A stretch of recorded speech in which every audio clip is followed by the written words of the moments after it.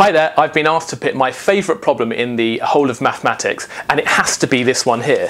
Let's suppose I ask you to pick two random numbers, let's say I limited it between uh, 1 and a 1,000, so two whole numbers, and I will ask what's the probability that your two randomly picked numbers are co-prime? What I mean by co-prime is that they don't share any factor other than 1. So in this particular case, these numbers are not co-prime because they both share a factor of 3.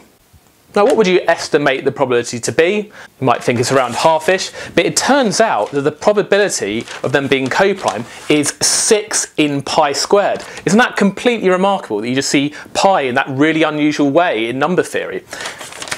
So I've actually built a Excel demo for this. So what it's doing is it's generating a pair of random numbers each time, I think between 1 and 10 million. And what it does is it says if they're co-prime or not. So this says 1 because the two numbers are co-prime, they don't share a factor, whereas if it has 0, it means they're not co-prime, so they do share a factor other than 1. And we can see these are both even, so they obviously share a factor of 2. And then what I've done is I've um, done this a number of times, uh, thousands of times, and then I've counted uh, the proportion of time in which the two numbers are co-prime. And it happens, in this case, 64% of the time in my simulation.